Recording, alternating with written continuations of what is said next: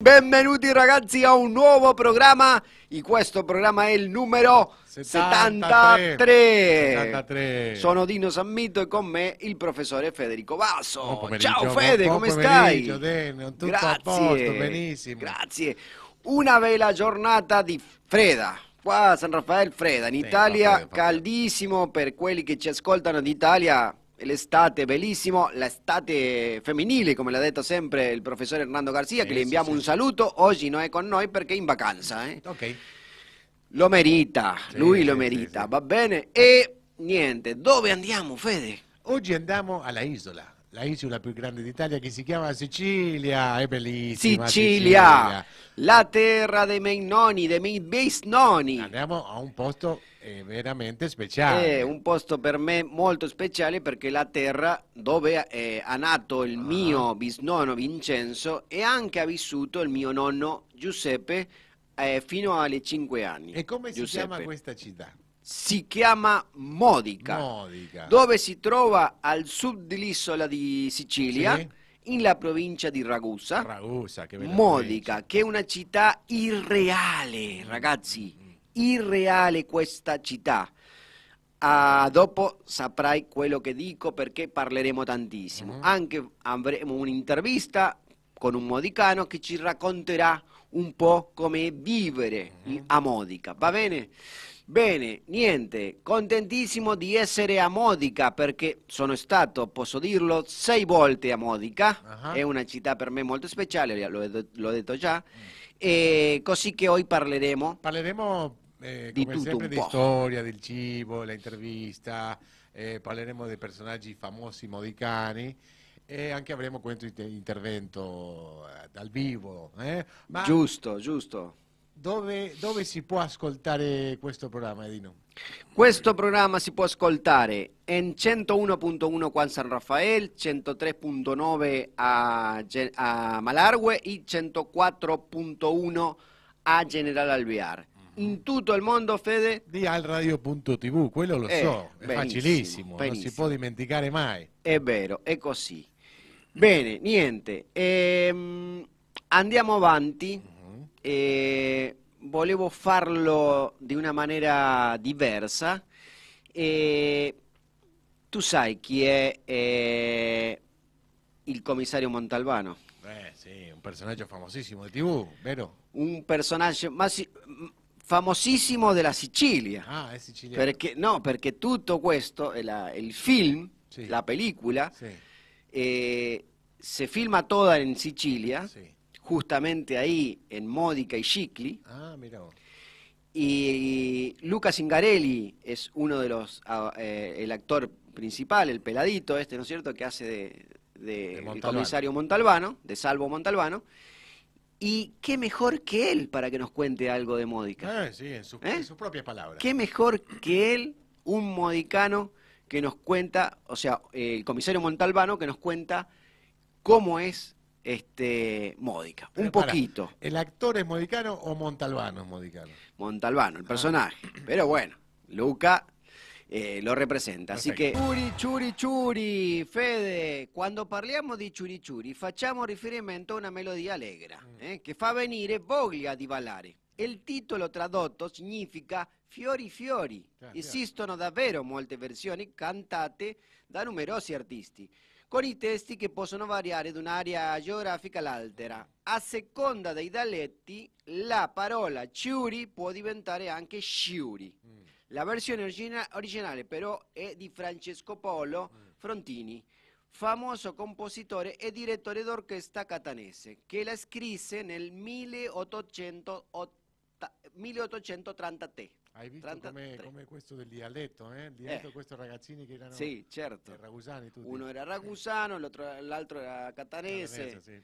Bene, bellissima la canzonetta. Fiori, fiori, fiorellini tutto l'anno. L'amore che mi hai dato, io ti lo ritorno. Fiori, fiori, fiorellini tutto l'anno. L'amore che mi hai dato, io ti lo ritorno. Eh, bene. Andiamo avanti, professore. Ah, avanti con la historia de Módica. Bene, hablamos un poco de la historia de Módica y vamos a situarnos en el mapa para decir que estamos a pasos de lo más al sur de Italia, porque esta es la parte sur de la isla. La punta sur de la isla. Digamos que Sicilia es un triángulo que tiene tres puntas, ¿verdad? Una, que apunta hacia Cerdeña, una que apunta hacia Calabria y la otra que apunta directamente hacia África, digamos, eh, de alguna manera. Y esta punta es muy cerquita, muy cerquita de donde está Módica. La ciudad módica propiamente dicha fue fundada por los Siculi, que eran unos griegos. Toda esta zona sabemos que es parte de la Magna Grecia, eh, la parte donde Grecia tuvo su mayor expansión en el mundo, que llegó a, ocupar hasta la mitad de Italia prácticamente, y fue fundada por estos Siculi griegos en el siglo VII antes de Cristo, ¿verdad? Con el nombre de Motica, Motica, con la Y que, bueno, justamente, griega durante el periodo de colonización griega de Sicilia, como dije, y hay mucho sustrato griego en el idioma, en los dialectos, por supuesto, es- esto, esto es clarísimo. Hay mucho sustrato griego en la adoración a los dioses paganos, que hoy por hoy se pueden manifestar de otra manera, pero ha quedado esto en todo el sur de Italia y es lo que los une a ellos. Eh, por supuesto, luego fue ocupada por los romanos cuando vienen creciendo. eh, y los romanos produjeron el crecimiento de la ciudad. Ellos la, la hicieron grande. Eh, en el año 845, un poco más adelante, la ciudad fue invadida por los normandos y los lideraba Roger de Hauteville, de Altavilla, que era nada más ni nada menos que el hermano de Roberto el Guiscardo, que hablamos tantas veces de él, Roberto el Guiscardo que dominaba Calabria y Apulia. Entonces el hermano, Roger, lo mandó a Sicilia. Durante los siglos XII y XIV estuvo bajo dominio español, es decir, durante 200 años o 300 años fueron españoles, pero españoles bien gallegos, bien españoles, con los condes de Gualtieri. Eh, tal título, este de conde de Gualtieri, eh, fue pasando de familia en familia, y estuvieron los Mosca, los Chiaramonte, los Cabrera, fíjate los apellidos que aparecen acá, eh, querido Dino, los Enríquez, almirantes de Castilla y, du- y duques de Medina, y los Álvarez. Finalmente, los Fitz James Stewart se quedaron con la ciudad. Pero fíjate cuántos apellidos tan españoles que hay en este lugar. Eh, sabemos que los españoles también tuvieron mucha injerencia en Sardeña y en Sicilia en esa época. Durante las últimas tres dinastías, el título de conde había perdido significación y poder real, y Módica fue gobernada, como el resto de Sicilia, por el virrey español desde Palermo. O sea, eh, la monarquía se ejercía a través de un virreinato con sede de gobierno en Palermo y desde allí mandaba el virrey español. Esta situación continuó hasta el siglo XVIII, es decir, hasta los años 1700, cuando Sicilia luego pasó a ser gobernada desde Viena con los Habsburgo. Luego, a finales del siglo XVIII y siglo XIX, pasó a ser parte del reino de Sicilia y allí la cabeza de Estado estaba desde Nápoles.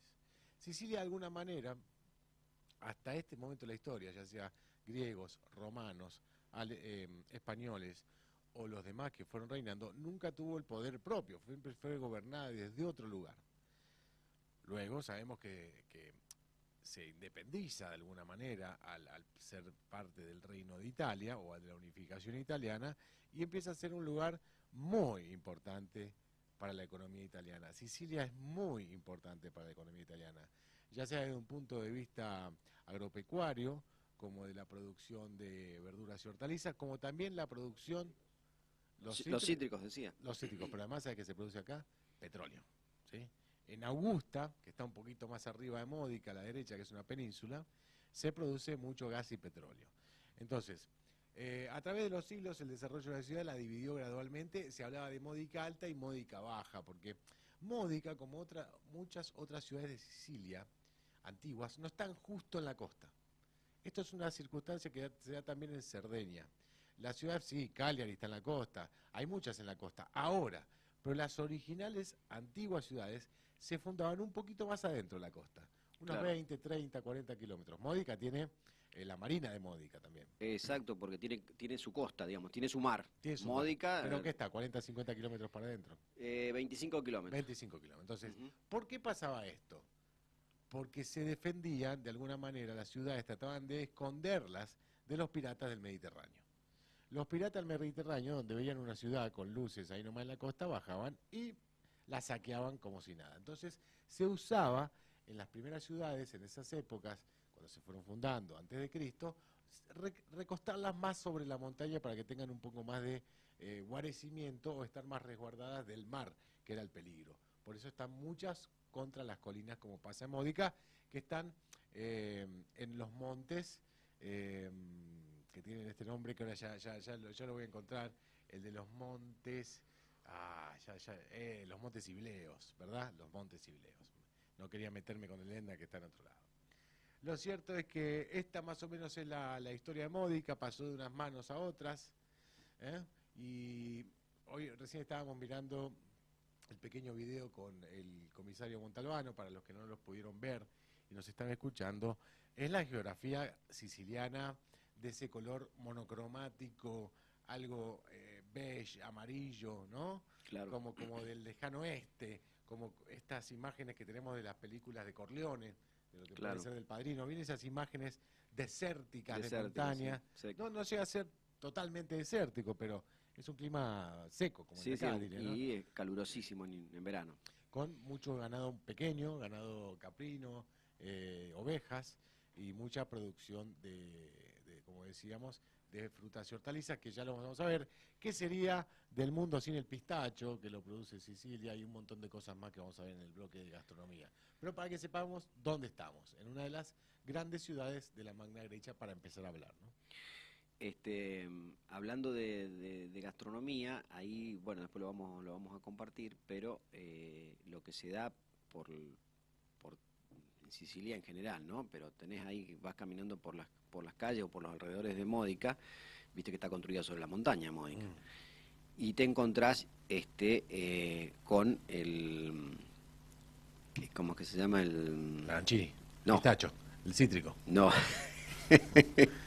que esto que lo, lo usamos como un condimento para las comidas, El caperi. el caperi. El caperi, El caperi. sí, sí, la alcaparra. La alcaparra. La alcaparra se da silvestre. La alcaparra se da silvestre, la podés juntar Mm. cuando ya está, digamos, para recogerla.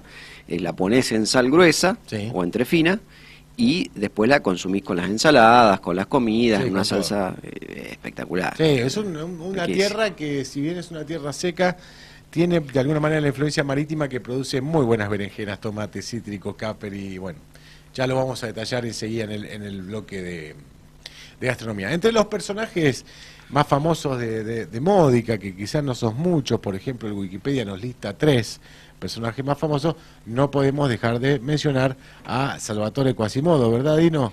Creo que es un premio Nobel de literatura. Premio Nobel de Literatura este, Quasímodo, ¿eh?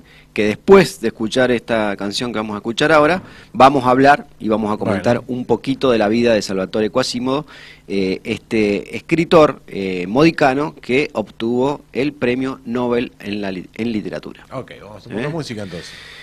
Escuchamos algo de, de música, este, él es siciliano, es conocido, muy conocido, se llama Módica en Sicilia, esta bellísima ciudad donde este, nació mi bisabuelo, este, donde De vivió nombre, mi ¿cómo- abuelo, ¿Cómo era el nombre del bisabuelo? Vincenzo. Vincenzo. ¿eh? Vincenzo. Vincenzo, Polif- eh, Vincenzo eh, y em, quería decir que era hijo de Giorgio, San Mito, eh, y, de Carm- y, y, mm, de Hipólita Bramante. Sí. Ahí nace toda la familia. Giorgio, San Mito, Hipólita Bramante. De- eh, ellos son los padres, nace Vincenzo. Esto me estás hablando antes del 1900, más o menos. Giorgio debe ser de. Claro, porque en 1886 nace Vincenzo, el mío bisnono, Claro, claro. hijo de Giorgio y de Hipólita.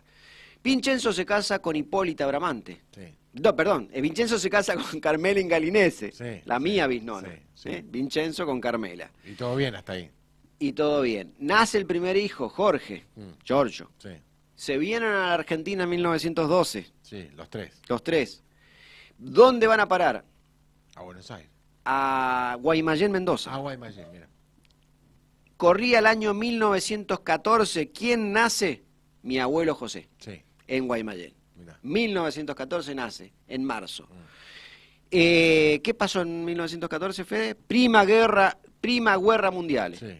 ¿Y, qué, y quién ¿Qué dijo el Bisnono? ¿Y qué, qué dijo el Vincenzo?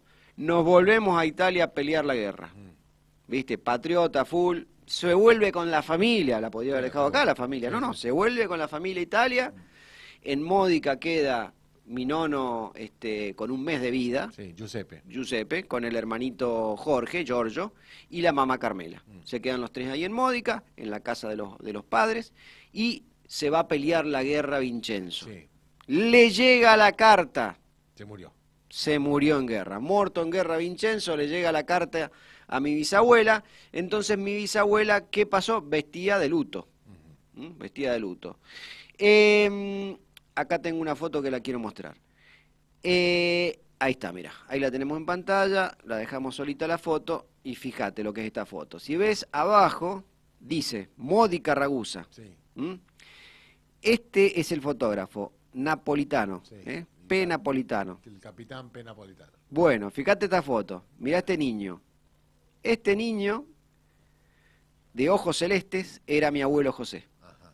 José San Mito, ¿eh? que nació en Guaymallén, que se fue a Italia eh, con su papá, porque su papá se fue a pelear la guerra, y eh, volvió cuando tenía cinco años a la Argentina. Sí. Volvió a San Rafael en No, pues aquel la, caso. la, la bisnona ahí dijo, nos volvemos a Argentina entonces. Claro, acá está Jorge Sanmito, ¿m? el hermano mayor. Y acá tenemos, ahí vemos, a la de negro. ¿Por qué está de negro? Está de, De luto. luto, de luto. Está de luto. Por Murió Vincenzo. claro. Vincenzo murió, entonces Carmela estaba de luto. Al lado está María, ¿m? la hermana de Vincenzo. María, que eran muy amigas con Carmela. ¿Qué pasa? Que termina la Primera Guerra Mundial y un día aparece Vincenzo, San. Mito, caminando, que no estaba muerto. sí. No estaba muerto. Lo habían tenido preso en un campo de concentración. Claro. ¿Está? Entonces, este, ahí después vuelven a la Argentina, vuelven a San Rafael y acá nacen el resto de los hijos de Vincenzo y Carmela. O sea que de estar viuda lo vio apareciendo caminando por la casa. Exacto. Eso debe ser. Una, una cosa de, sí, sí, la- una cosa de loco. Te, te morís vos. Sí, O sea, sí, la sí. abuela la- se la bancó. Ima- imagínate. imagínate, te digan, se murió y que después te aparezca caminando. Una cosa realmente, este, bueno, esta foto es increíble cuando la encontré, la verdad que fue una, una locura, ¿no? Bueno, ver a mi de abuelo dónde, de ahí. dónde vienen los ojos claros de Dino, entonces nos, nos va quedando un poco. Vienen de ahí, vienen de, de mi abuelo José. Bueno, este, mm, Fede, recién habl- hablábamos de Salvatore Quasimodo, eh, lo acompañamos con, con imágenes, el este, premio Nobel en, en literatura. Escuchamos, mirá los pajaritos en Módica, mirá, mirá lo que es el barroco. Città alta di terrazzi de chiese area di visione esatte, de paese y de mare, de la ciencia del arte. Eso escribía Quasimodo ¿eh?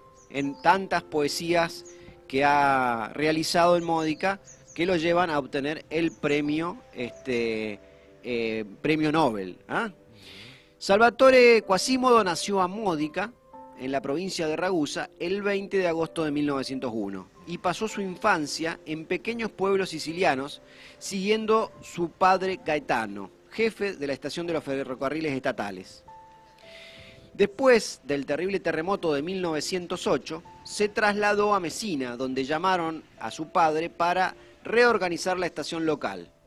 Los vagones de ferrocarril fueron para Salvatore y su familia su hogar en un inicio, como sucedió con muchos otros sobrevivientes. Esta trágica y precoz experiencia de dolor dejará una profunda huella en el alma del poeta. En los años de Mesina, Quasímodo comienza a escribir versos que publica en revistas simbolísticas locales, simbolistas locales. Eh, al graduarse con apenas 18 años, deja Sicilia, con la que mantendrá un vínculo elíptico, y se instala luego en Roma.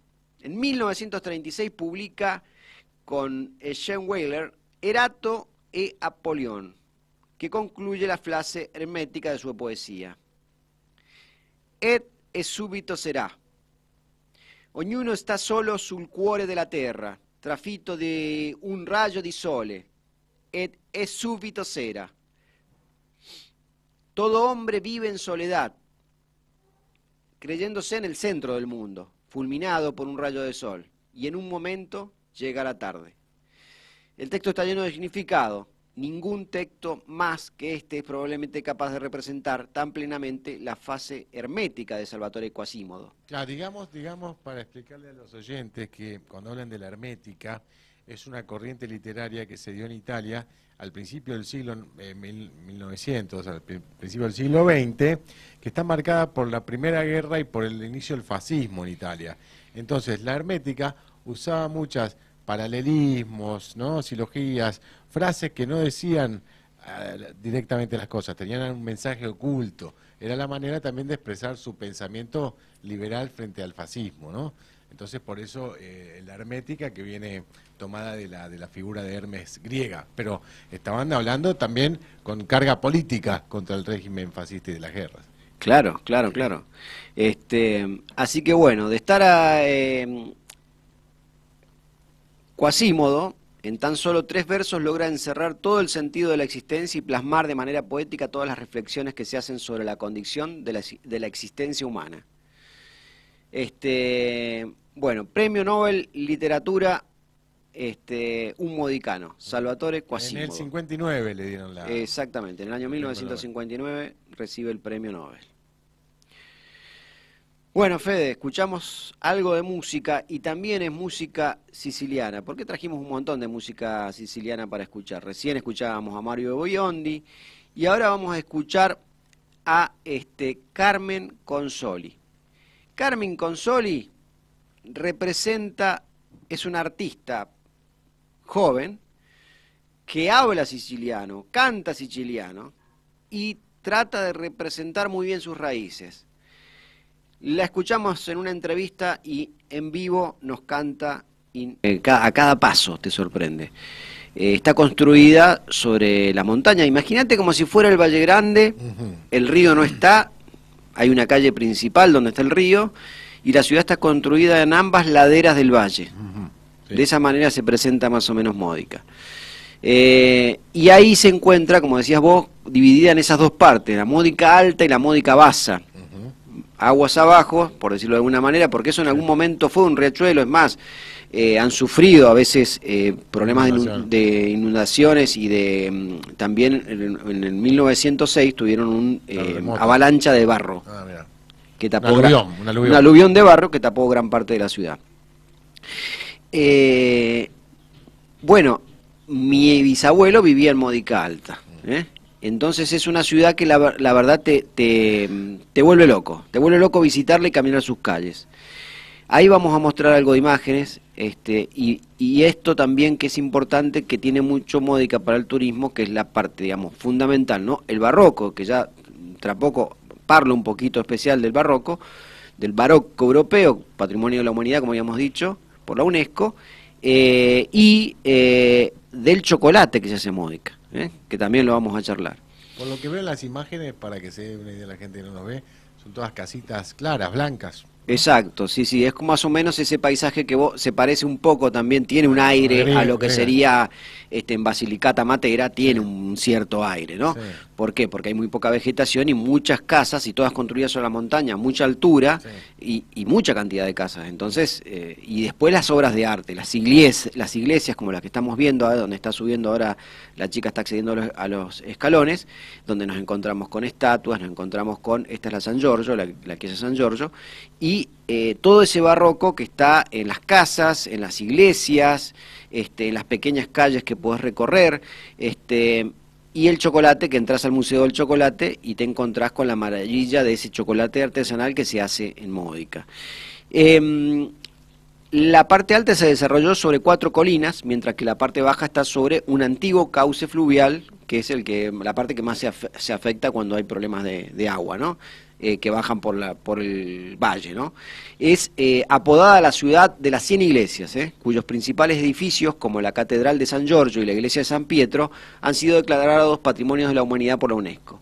Situada muy cerca de ciudades como Ragusa, Noto, Marsamemi o Siracusa, este, una visita módica significa adentrarse en una de las ciudades más bonitas de Sicilia se ha sabido captar a lo largo de su historia lo mejor de cada una de las culturas que pasaron por ella. Castillos de los Condes de Módica.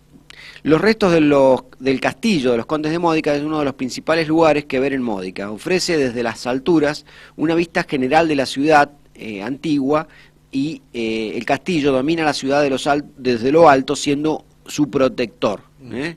junto a las murallas del castillo se puede ver la famosa Torre del Reloj de Módica, construida sobre los restos de una torre de vigilancia destruida por el terremoto este, en, en 1725.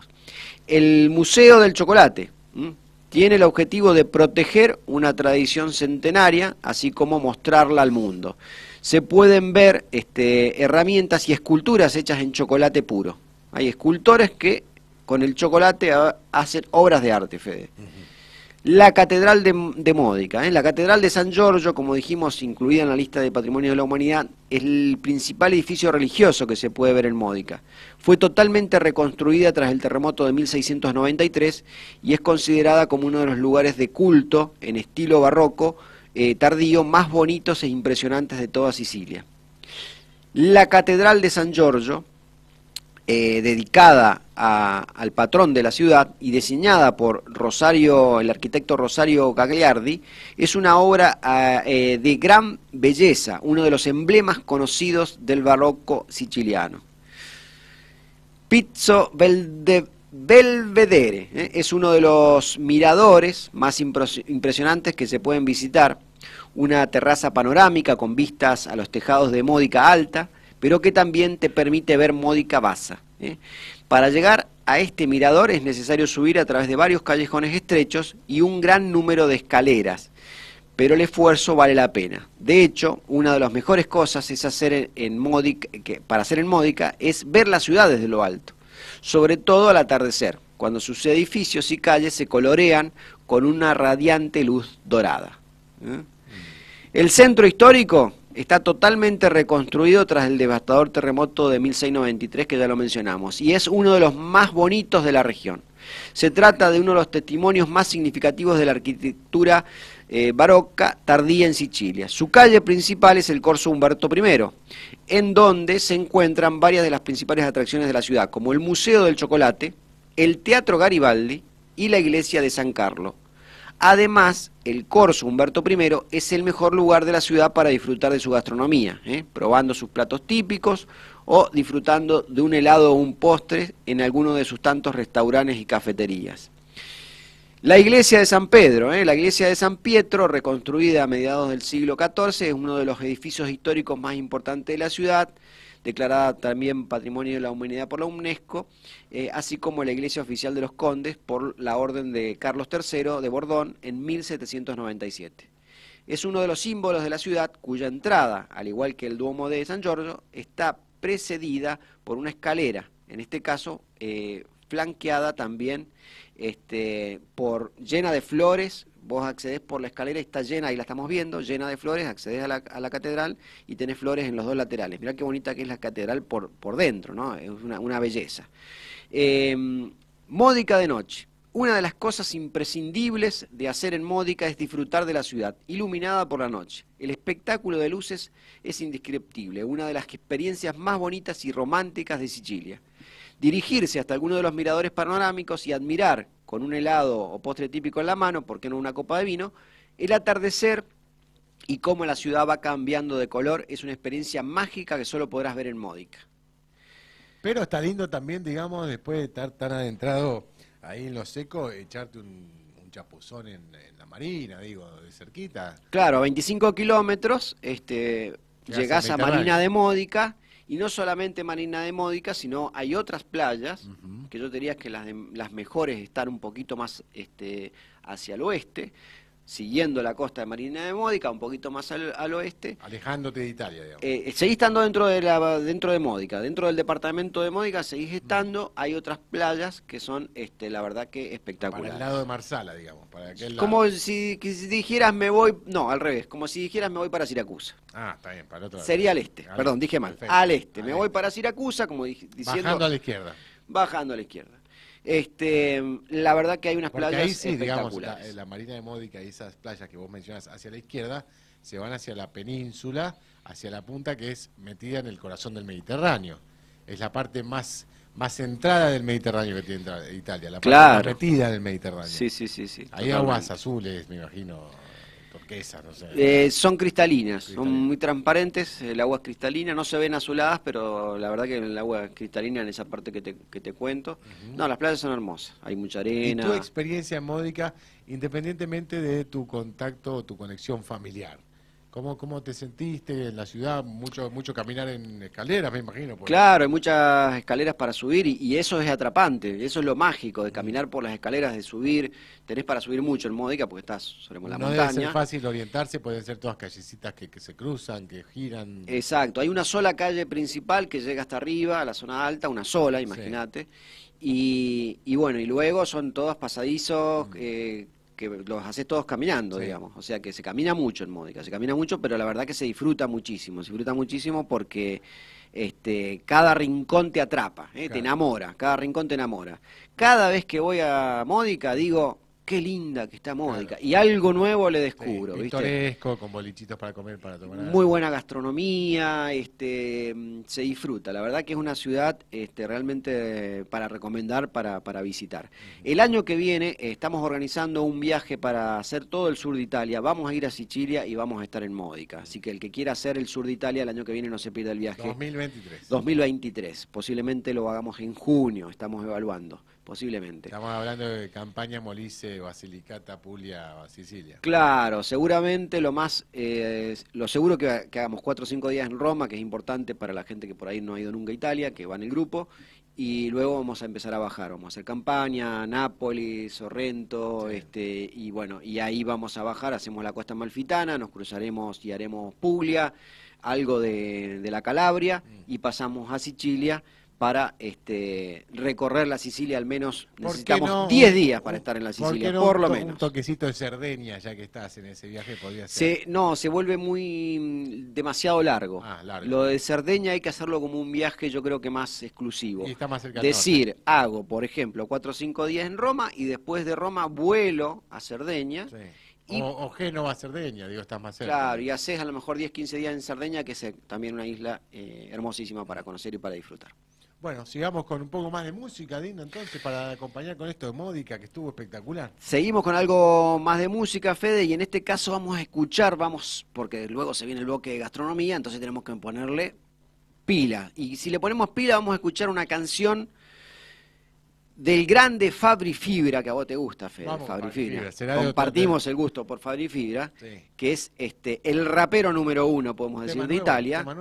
Tema nuevo. Cantando con Mauricio Carucci, se llama Estelle y suena en el estate italiano. Vamos a ver. ¿eh? Suena en el estate italiano, Fabri Fibra con Mauricio Carucci, Estela, vamos avanti con il video che di cucina, Parliamo cosa di si cucina. mangia, tantissime cose che si mangiano a Modica. A Modica, a Modica, Ragusa, provincia Ragusa, di Ragusa, provincia no? di Ragusa, vero. cucina eh, propriamente diversa, perché Pe- aspetta un, un attimo Federico, perché mi sembra che c'è qualcuno qua con noi che, no- invitato, un che non ho visto speciale. prima. Chi è questo ragazzo? come ti chiamavo? Lorenzo, Acá. Lorenzo Valentino Basso. Ma che bello! Eh, Lorenzo, il Eh, tuo figlio, Fede. Lorenzo Valentino Benvenu- Basso, il primogenito. Eh, benvenuto, eh, Lorenzo, La radio benvenuto alla radio. Bene. que vamos a hablar de cocina, vamos a preguntarle Sí. a Lorenzo, ¿qué, ¿qué platillos de comida italiana te gusta que te hagan papá? A ver. Eh, los ñoquis, la pizza y la milanesa de carne. Eso, y la Bien, milanesa de carne bien. es italiana, ¿eh? ya lo charlamos el otro día en el auto y ya aprendimos que es italiana. ¿Querés mandarle un saludo a alguien? Eh, un saludo a mi abuela y a mi bisabuela Nona. ¿A la abuela Moni y la bisabuela Antonieta? Sí. Muy bien. Muy bien, qué capo, qué capo. Vos que te Lorenzo, este, un placer que nos acompañes, Lorenzo. Bueno, papá ahora va a hablar de cucina y va a hablar de qué se mangia, qué se come a Módica en la provincia de Ragusa, en tutta la provincia de uno, Ragusa. uno esperaría, seguramente, que los platos más tradicionales de estas ciudades de Sicilia sean fundamentalmente de pescado, ¿verdad? Porque están, es una isla. Sin embargo, no es así. Sin embargo, los platos más tradicionales no son de pescado. Vamos a ir siguiendo las imágenes, está perfecta esta imagen, Dino. ¿Por qué se daba esto? Como comenté en el bloque de historia, las ciudades se fundaban, ¿eh? se escondían, en romano se dice condire, eh, a una ciudad quiere decir esconderla, ¿no?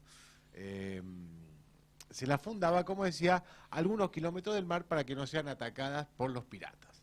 Entonces la cocina es muy contadina, no es tan marítima. La cocina tradicional siciliana, si bien hoy por hoy hay muchísimos platillos de pez espada, de frito mixto, vos lo sabés muy bien, Dino, si vos vas a buscar el plato tradicional de Módica o de Siracusa o de Trapani, donde sea, vas a encontrar un plato contadino. Entre los platos fuertes, el que estamos viendo acá en imagen, es conejo, ¿sí? Me encanta el conejo, Fede. Muchísimo conejo en la isla de Sicilia, muchísimo ganado chico, muchísima ave de corral y muchísimo conejo. Este tipo de conejo se llama conigiu, porque esto es en siciliano, supongo que se dice conigiu, a las timpirata, a las timpirata o a las timpara, que es un plato que lleva, por supuesto, el conejo y que no lleva a llevar si no lleva olive e caperi. ¿eh? Benísimo. Siempre. ¿Cómo se hace? Como todo. Sedano, carota, chipola, un po' de vino bianco, un po' de eh, olio de oliva extravergine, padela y se deja ahí cocinando media horita en la sartén y se lo condimenta con olivas negras y con caperi. Y así tenemos un montón de platos. El capri que le recor- Alcaparra. Ah, son las alcaparras, le recordamos a la audiencia que son las alcaparras. Y que en Sicilia se dan por donde vayas. La encontrás por la calle, sí, sí, por la Silvestre. calle, silvestre. Como si la, acá po- la podés recoger, ser la oliva. exactamente. Y es, son realmente exquisitas, le dan un sabor muy particular. Un detalle para nosotros que estamos acostumbrados a, a consumir la sabora. Muchos cuando por ahí se compran un lomo, le meten sabora. Sí. Mostaza. Mostaza. Sabor a la marca. La marca, cierto. Me quedó de cuando era chico. Igual mostaza es una marca hoy también. También es una marca. Pero este, la mostaza, la alcaparra, tienen una similitud. La alcaparra tiene una particularidad que te hace pensar En la mostaza. en la mostaza. Quizás por la acidez y el picor. Puede ser. Probalo man- mm, hoy, esta noche, probá, Fede, mordé una alcaparra y Pero pensá la y alcaparra que yo si consigo no. acá, yo estoy de acuerdo con vos en el sabor. No deja de ser eh, la mostaza también una semilla, un fruto. Ahora, la, la alcaparra que compro acá en vinagre. No, No, no, no, no tiene nada que ver, no, no, nada no que ver. La alcaparra... probarlas que a vos se te rompió el frasco. Voy a traer, ahora en sep- no, ahora en sep- bueno, sí, voy a conseguir, seguramente en Sí, algún lugar voy a conseguir. en algún Eh, no, en algún lugar consigo. Voy a traer las alcaparras, no son las sicilianas tal vez, pero las voy a conseguir. En, Italia, todas las alcaparras se envasan en sal, en sal entre fina, sal gruesa. Sí. No se envasan con eh, agua y vinagre como se hace acá. ¿Eh? Lo que conseguimos, en el- lamentablemente, viene en, en- en vinagre, Vinagre. entonces tenés que enjuagarlas mucho para sacarles no la acidez. sabor, no y no es el mismo sabor, eh, lamentablemente. Veamos qué otro platillo Vamos. aparece y yo te lo voy comentando porque se, se me, se me ha hecho muy interesante, acá está, se me ha hecho muy interesante estudiar la cocina eh, siciliana en el punto eh, idiomático, porque realmente si a, a mí me puede sonar algo el dialecto veneziano por mi nona, pero realmente el- el- los dialectos eh, sicilianos son eh, raros, son difíciles, son como lenguas más, más antiguas, ¿no? Este que se ve acá, eh, Lole, eh, Loli que chichiri, Loli que chichiri. Cuando dicen que es coi, ¿o no? Con. Entonces, Loli o pasta o rigatoncini con eh, chichiri. ¿Esto qué son? Los garbanzos. ¿eh? Los garbanzos. Los garbanzos. Pasta Bueno. y garbanzo. ¿Te puedo interrumpir, Fede? Sí, por supuesto. con, con esto del chechi, Mm. eh, hay un plato característico, o sea, no es un plato, pero es una comida característica siciliana, que se hace con la farina de chechi, Sí. con la harina de garbanzos. Sí. ¿Está? ¿Una farinata? Mira, No. agarrás la harina de garbanzos, Sí. pones agua a hervir, le echás un poco de sal y pimienta negra nada más, molida fresca ahí. Le echás la harina, ¿no es cierto? Como si fuera, la- eh, para que tengan una idea, la harina de garbanzos e- es muy parecida a lo que sería una polenta, Sí. ¿no? A una harina de maíz, a ese tamaño más o menos. Entonces la empezás a, eh, sobre el agua hirviendo, la empezás a tirar, digamos, que vaya cayendo suavemente, ¿no es cierto? Como lluvia. como tipo lluvia y de esa manera la vas moviendo. No la tenés que dejar mover nunca. Son 20 a 25 minutos moviéndola, cocinándola. Ok, una polenta de garbanzo está ahí, digamos.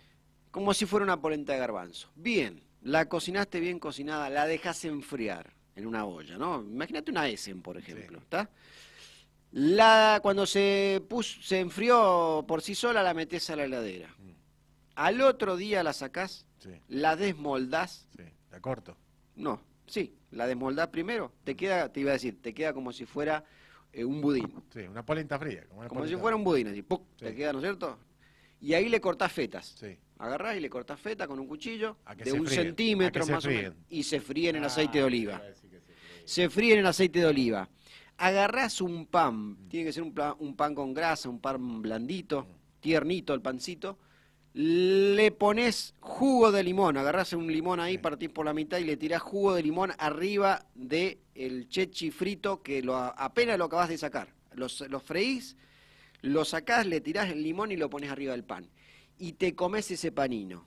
Bien, Increíble, te Fede. llena, te llena. No, pero aparte, el sabor es ¿Con increíble. qué poco? Es una pasta de garbanzo frita. Es una pasta carnosa Ahora, frita, pero es increíble. Justamente mencionando esto, yo dije que los orígenes de la cocina siciliana son contadinos, es decir, campesinos. El valor que te- se le da al, al, como decíamos, al garbanzo y que se le da al efave o a las eh, habas. Ahí vas a encontrar fotos verdes de esos potajes de fava, o de fave, o de habas, que se lo llama macu, ¿sí? Con doppia chi, macu. Entonces, cosa es el macu? Es una pasta, es una pasta, un potaje a base de habas. Cuando están frescas, por supuesto, se puede hacer puré de habas, habas salteadas, habas con cerdo, eh, distintos guisos. Pero cuando la haba se seca para que la tengan durante todo el año, se hacen muchísimas preparaciones entonces de la pasta o el rigatoncini o la pasta que sea con el macu. Con una, una pasta corta se usa. Una pasta corta que eh, la vas a ver en un montón de, de- de fotos que tienen verde, ¿no? Se usa fave, secas, acompañadas con fino quieto. Finocchio sabemos que es el hinojo, fino quieto selvático. Y esta vuelta con la pasta. Muy sencilla la cocina, Dino, como estamos viendo, ¿no? Entonces, un puré de habas con pasta. Ahora, a la haba, en Sicilia, la llaman la carne de Sicilia, porque dicen que le salvó de hambrunas mucho tiempo. Acá tienen, por ejemplo, una, una, una foto de eh, lolli, esos fideitos alargados se llaman lolli o se llaman también eh, en este caso son los lolli. Los loli. Los cavatieri son como un ñoquisito, ¿no? Bien, sigamos con algunas imágenes, Dino, a- a- a- a algunas que tengas para que, que podamos ver. Esta, esta zona de, Sicilia, Ragusa, un centro muy importante agropecuario, en los montes eh, Ibleos, como dijimos, se producen eh, productos lácteos famosísimos y de altísima calidad. El número uno es el formaggio ragusano DOP, ¿eh? cacho cavallo ragusano DOP. A los sicilianos no les gusta mucho que le digan cacho cavallo ragusano, les gusta que le digan directamente ragusano, para no confundirlo con el cacho cavallo. Claro. Entonces, O ragusano, sea, un formaggio que si chiama ragusano. Ragusano. Ragusano, el de Ragusa. ¿Qué tiene de característica particular? Que se hace con una leche que es inconseguible, una leche rarísima. Esa leche viene de una vaca autóctona de la isla de Sicilia y de Sardeña, que se llama la eh, modicana sarda, la raza se llama modicana, para que te des una idea, y da una leche muy especial porque se alimenta de las pasturas de la zona. Entonces esa vaca come muchas flores, dicen que también el sabor de la leche está algo mezclado con hongos, cítricos y flores, porque la vaca come también hongos, los cítricos están en el ambiente, entonces dicen que es una leche eh, con aromas florales, que es imposible hacer esos quesos con otra leche porque la materia prima es eh, di- distinta. Y se hace el ragusano y se hace otra cosa muy importante en, Sicilia que se llama ricota iblea. La ricota iblea, que la vas a ver en unos canastos que parecen unas, unas balas, es una ricota también con estos, ahí está, esos cartuchos que ves como de caña, y adentro está la ricota iblea. ¿ah? Porque esos cartuchos son los que pescan el suero y se hace esta ricota. Rarísima la ricota, que tiene gusto a flores, a hongos, a cítricos. ¿Qué me conta la ricota con eso? ¿La pedís también como. ¿La pedís también como ricota ragusana? No, Iblea. Iblea. Iblea, porque sí, es de Ragusa, pero de los montes Ibleos. En esta se Bien. llama ri- ¿Qué se hace con la ricota en Sicilia, Dino? Este tubito. Se, ha- se hace il canoli. Il canoli, ¿eh? ¿Qué el Cannoli. Cannoli Eh, siciliano. El canoli se hace con esta ricota, no es cuestión de usar ricota de hacer un canoli, tiene que ser la ricota, y la ricota batida, y la ricota fina, ahí tenés la ricota, mira que es, es una locura, es un quesito. Una cosa muy, pero muy, muy rica. ¿A Y también, para comer dentro de los ravioles? Sí. Bueno, algo que nos falta en la dieta del, del siciliano, del ragusano y del modicano, es arancini. el arancini, por supuesto. Arancini. Este arancini se llama arancini modicani. ¿eh? Bien, ¿eh? ¿Qué tiene de diferencia de los demás arancini?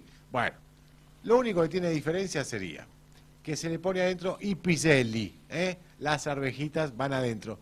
Fíjate el signo contadino adentro. Adentro del canoli va el piselli, quiere decir va algo del campo adentro. ¿eh? Que es lo que vamos a hacer para eh, la settimana de la cucina en Piazza ¿Querés Italia. hacer canoli? Vamos a hacer ¿Querés hacer canoli de postre Eh. y vamos a hacer los arancini. ¿Quiere hacer arancini? Eh, vamos a hacer los arancini. Es Mirá, laburo hacer arancini, tiene que hacer el risotto. mirá, mirá lo rico que risotto, Y le vamos a poner los piselli. Claro, después ¿Eh? tiene que hacer una bolita de queso, una bolita de carne picada, una bolita de arroz, y todo eso apanado y frito, un laburo chino. Pero lo vamos Pero a hacer. lo vamos a hacer, lo vamos a hacer. Entonces, el, Gracias, el arancini, para que se den una idea, tiene el tamaño de una pera de grande, ¿eh? Claro. De grande como una pera. Vos te comes un arancini y ya más o menos está lleno, que es esa bola de arroz frito. O naranja, porque arancha, que es naranja, El nombre viene de... viene de ahí, de la arancha, ¿eh? porque queda con el color tipo de una naranja y la forma. Esta, este formato que estamos viendo así un poquito más alar- alargado es una versión, pero el original es una pelota. De tenis, más o menos, el tamaño un poquito más grande también. Es la naranja, era es una naranja, el tamaño de una naranja. redondo. Redondos, tamaño Y naranja. adentro la carne picada y la piselli. Exacto, con piselli, si Tiene exactamente. que tener piselli sí o sí. Yo los que he comido siempre han sido con piselli. Fíjate que no mencioné todavía ningún plato eh, de pez, de pescado, y tampoco lo voy a hacer, porque si no nos quedamos pensando que Sicilia es pesca, pesca fresca. Por supuesto, muchachos, que sí, pero eso es lo moderno, no es la antigua Sicilia. La ¿Qué es esto, Fede? Eso también son unos loli con fave, nada más que Bien. son las habas secas. Con una versión y- diferente. Y, las habas secas. Bueno, acá hay algo que hacía mi abuela.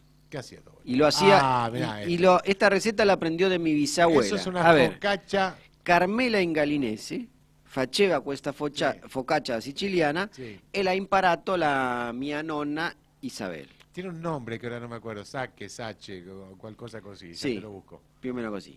Ya te lo busco. Descontame, Dino, entonces de esto. Bueno, nada, es una exquisitez. Una masa que se arrolla, se le coloca salsa de tomate internamente, este, y se le puede co- colocar queso, y la verdad que es un manjar. Scaccia, Es scaccia, scaccia, scaccia sí, cono- conocida como escacha. La diferencia es que en vez de, eh, la masa se estira y se va como arrollando, como un hojaldre, digamos, que se pone capa sobre capa, y entre las capas de esa focacha arrollada se le va poniendo distintos condimentos. El más típico es poder ponerle, por supuesto, pomodoro, ¿qué pomodoro vamos a decir ahora?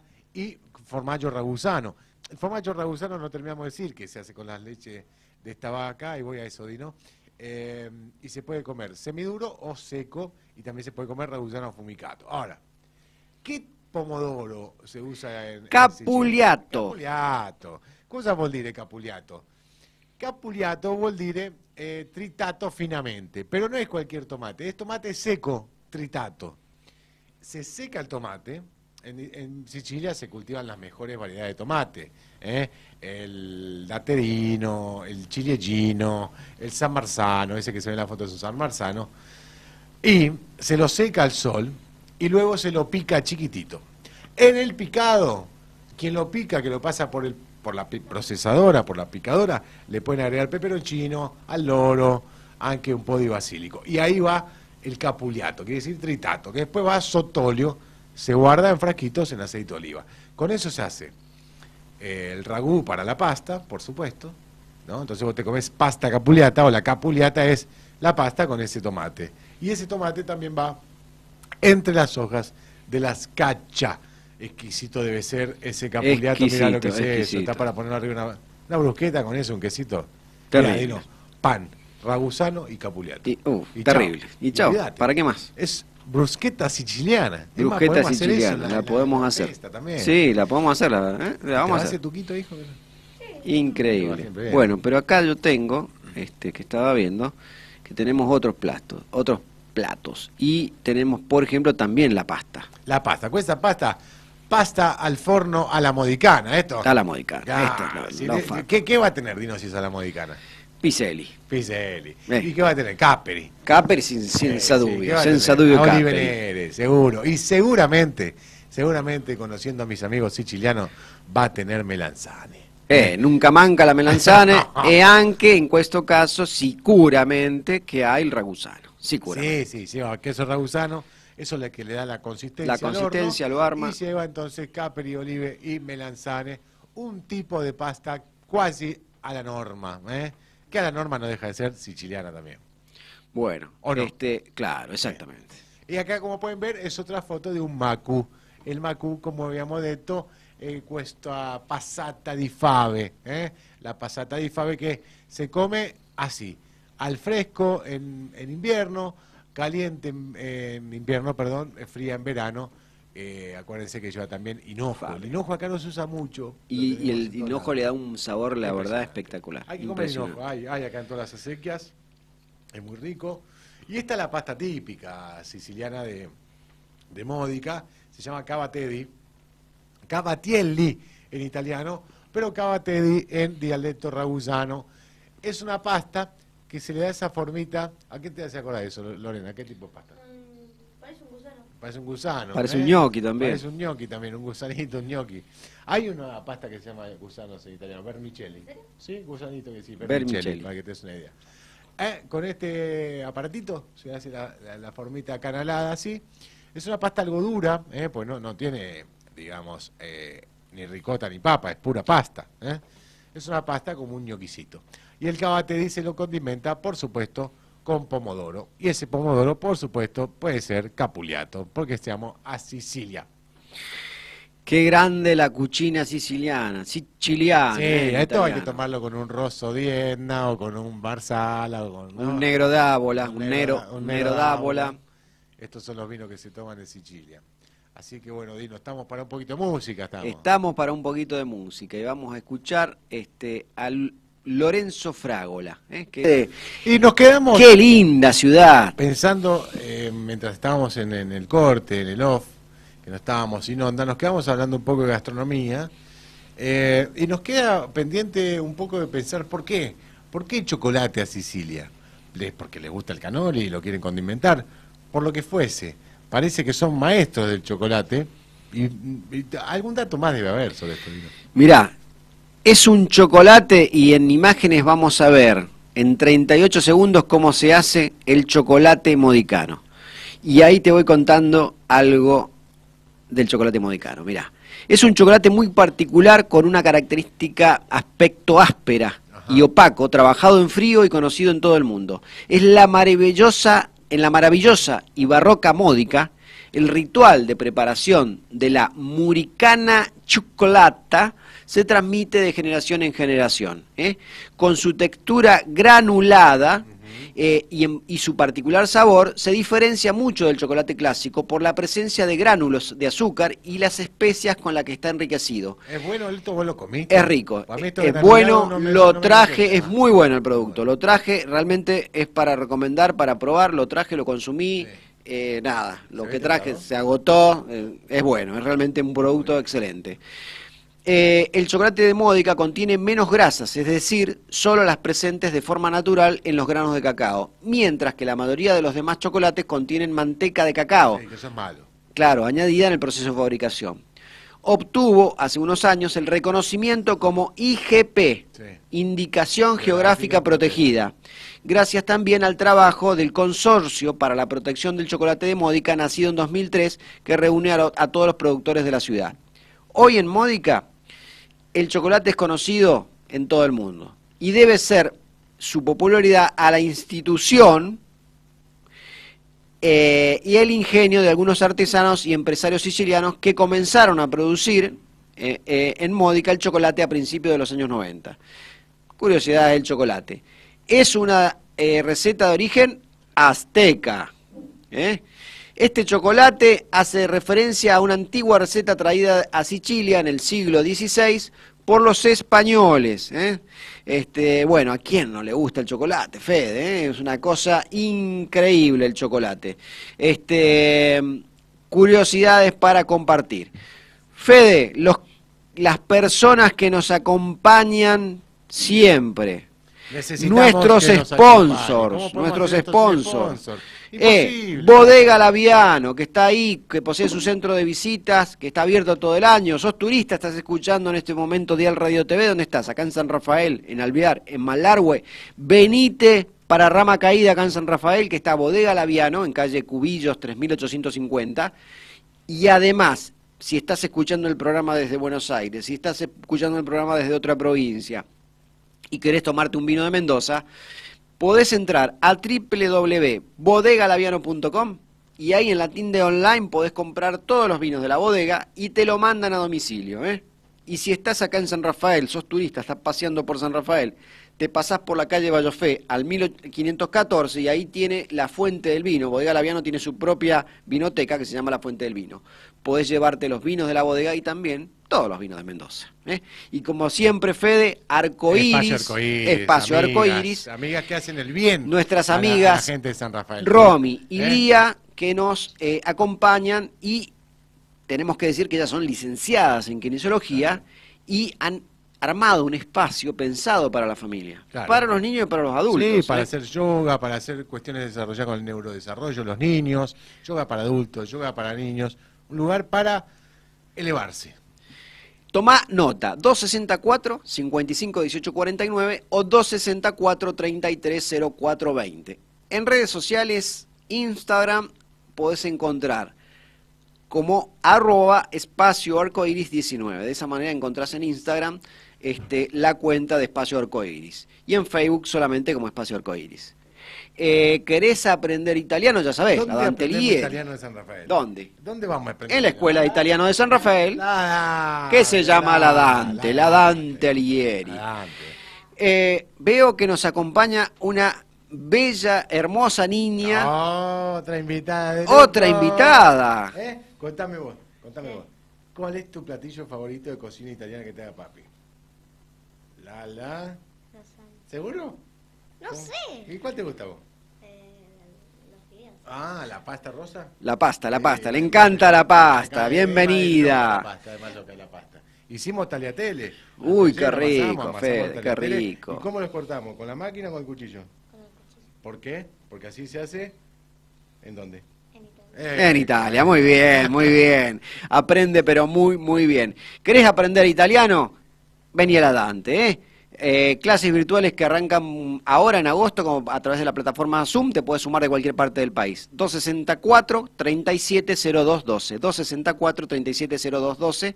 Este, ahí te comunicas con Virginia y te inscribís. Asociación Dante Alighieri de San Rafael, Lengua y Cultura Italiana en el Mundo. ¿eh? Y eh, recordamos que en septiembre nos vamos con la Dante a Italia cuatro semanas. Escuchame, Partimos el mes, 20 un mes un mes, por Italia, un ¿te mes chicos por Italia. Nos vamos el 28, salimos el 28 de agosto y volvemos el 24 de septiembre. Cuatro semanas vamos a estar en Casal Bordino, un pueblo de Abruzzo, frente al mar Adriático, viviendo a la italiana, como viven los italianos, Fede. Comiendo comida, el año que viene Fede se viene conmigo, sí, vamos. ¿Mucho? ¿Cuántos días me Se armó. Cinco. Cinco días. 15, 15. Por lo menos dos semanas, porque si no, en un viaje tan largo, viste, Lorenzo, no. 20, 20. digamos 20. 20 días, vamos negociando ahí. Bueno, este, sumate 264 41 41 79. Si querés, te paso información del viaje a Italia que hacemos con la Dante Lieri en septiembre, cuatro semanas. Bueno, este, Fede, eh, escuchamos buena música este, y continuamos, ya llegamos al, al cierre del programa. ¿eh? Este, vamos a escuchar a... eh, antes de irnos, este, estamos, seguimos en compañía con Emma y Lorenzo. Antes de irnos, eh, bueno, teníamos que comentar algunas características Claro, del barroco. pensando, acá, repasando el programa con los chicos, de eh, una pregunta que nos quedó pendiente, que sería ¿cuál, Lorenzo? ¿Qué es el barroco? ¿Qué, qué, qué demonios es el Muy buena pregunta, muy buena pregunta. barroco? Es un movimiento cultural, arquitectónico, musical, ¿m? del 1700 Un movimiento eh, de, de- de- de- de arte, artístico. y artístico. Una época Que es, artística. si yo veo barroco en un edificio, a nivel de arquitectura hablando, veo detalles esculturales dentro de esa, por ejemplo, en los balcones, vamos a hacer bien, bien, lo vamos a hacer bien fácil, en los balcones de las casas de Módica te vas a encontrar debajo del balcón con detalles muy bonitos que hacen, son parte del barroco. Esos detalles que un escultor, un arquitecto desarrolló para poder mostrarlo. Ahí estamos viendo en imágenes Módica y las características fundamentales de la arquitectura barroca, altamente decorativa y teatral, es mucho decoración, fueron las líneas curvas, eso es lo que la destaca, muchas líneas curvas, ¿eh? con patrones sinuosos como elipses, espirales o curvas con una construcción policéntrica, a veces con motivos que se entrelazan entre sí, para ser casi indescifrables. ¿eh? Todo tenía que despertar asombro, y el fuerte sentido de la teatralidad empujaba a los artistas a la exuberancia decorativa, combinando pintura, escultura y estuco en la composición espacial, subrayando todo a través de subjetivos juegos de luces y sombras. ¿eh? El estilo barroco se considera generalmente como cosustancial con la contrarreforma. ¿eh? Su nacimiento en Roma a partir del manerismo es coincidente con el de la Compañía de Jesús, fundada para fortalecer la influencia católica perdida eh, y evangelizar el nuevo mundo. Vamos, a, llevarlo al terreno de los niños para que nos entiendan todo. ¿Vieron cuando entran a una casa de una abuela y tiene adornos, adornitos, cuadros, cuadritos, pero todo, todo muy, muy, muy cargado, muy cargado, que vos decís, wow, parece que se te viene todo encima. Sí. Eso dice que es muy barroco. Cuando está muy decorado, como casa de abuelita eh, decoradora. ¿Ok? Eh, bailamos en el piso, también tenemos bailarines en el piso y de todo tenemos. Qué bueno, qué bueno. Ahora vamos a bailar, Fede, porque nos despedimos. Saludamos de paso a toda nuestra audiencia de San Rafael de Alviar, de Malargua, a los que nos escuchan de Italia, a los que nos escuchan de Buenos Aires, del resto del país. Y nos vamos bailando con este tema tan popular siciliano que es el churichuri. Pero en este caso, Fede, realizado por Angemi y Mariana Bu. Angemi es un DJ muy famoso en Sicilia y Mariana Bu lo acompaña en este caso. lo podemos poner también acá en vivo en el piso, que se oiga. Claro, lo vamos a escuchar en vivo en el piso y lo van a poder disfrutar desde la casa, escuchándolo por radio o, nos, o viendo a través de la aplicación Dial Radio TV. ¿eh? Ahí a través del celular lo ves en imágenes. Churi Churi, Angemi, Mariana. Chau, chau, a Martedí Pro.